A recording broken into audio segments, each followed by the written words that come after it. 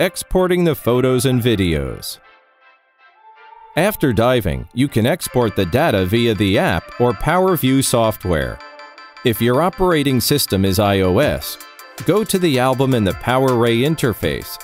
Select the photo or video you want to download. It will then download your selection to the Vision Plus Media Library, and then you can export to your computer.